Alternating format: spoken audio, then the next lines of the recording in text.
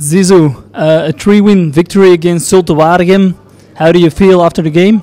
Uh, I'm so happy uh, for the vic- victory, and I'm also very happy to um, the first goal I scored. So uh, that's a good day for me. It was a very important game for Lierse, a crucial game.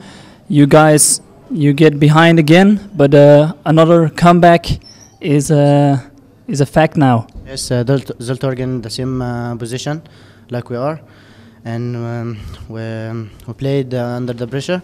So um, thank God we um, we passed this uh, this step.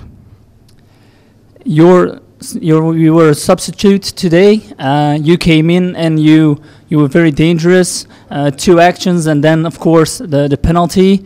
Uh, were you were you confident enough to step up and did you know you were going to score?